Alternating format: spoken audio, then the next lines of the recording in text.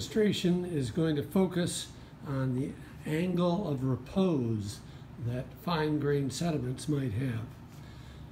You've probably been to the beach and mounded up sand, but have you ever thought about how steep a slope you can make?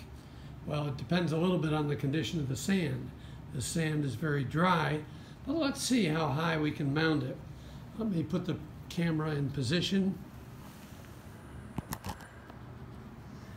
And you can see before you the sand table that we uh, used in an earlier experiment. And so it's pretty flat right now.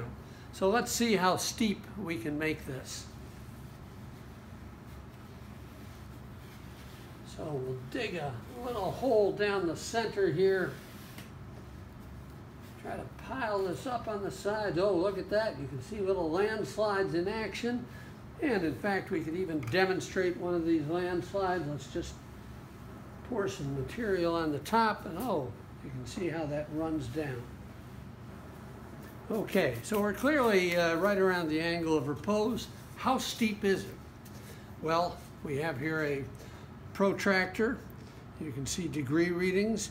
And so what I'm going to do is to bury this protractor in there so that we get a uh, pretty reasonable reading. We move it right to the slope. And the answer is it's just about 36 degrees, just what we might have predicted. Okay, that's it for demo number one.